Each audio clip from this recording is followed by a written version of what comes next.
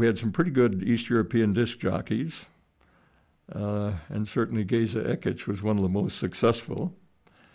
Ich habe, wie ich jetzt weiß, eine Generation, eine damalige ungarische, ziemlich jüngere Generation erwischt mit der Hilfe der Musik. Mein Vater hat alle Fenster zugemacht, ein Radio aus dem Schrank hat er rausgezogen und dann hat er etwas gehört. Viel habe ich nicht verstanden. In der Zwischenzeit kam immer Ü, Ü, Ü. A mikrofonnál Cseke László.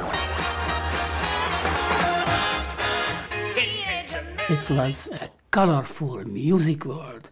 It was for the new growing up generation. Oh, well, everybody's heard about the bird. Bird, bird, bird.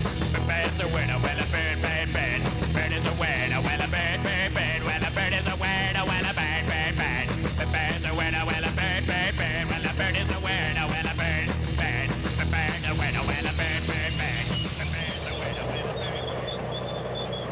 Das war 56, 4. November, 5 Uhr früh.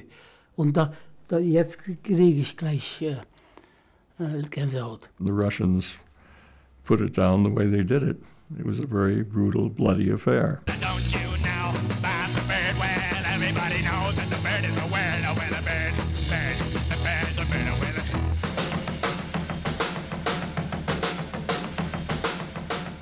I do not ever believe that a revolution was the idea of, of Radio Free Europe or Radio Liberty from the beginning.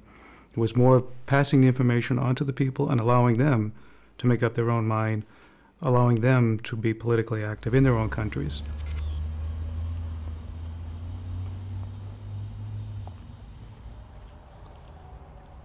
This area of the building is where the bomb was placed. There were two terrorists walked in with the 15 kilos of the plastic explosive nitropenta, left it there.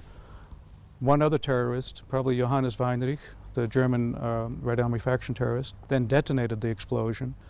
One woman, Maria Pulda, because of the explosion and the glass, lost about 50% of her face from here down. And in the middle of the first floor is where a KGB agent actually worked. His office was totally destroyed. He then complained to his KGB handlers that he could have been killed.